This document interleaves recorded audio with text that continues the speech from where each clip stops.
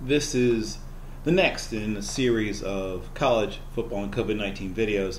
The ACC is planning to play football in the fall, but Florida State has had four receivers step forward and say that they are not comfortable with what the university has been providing in terms of information.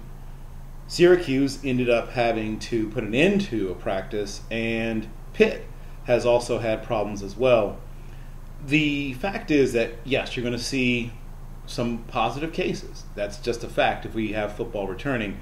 The question is will there be factual information provided in a timely manner to the athletes in question? There's much more to come.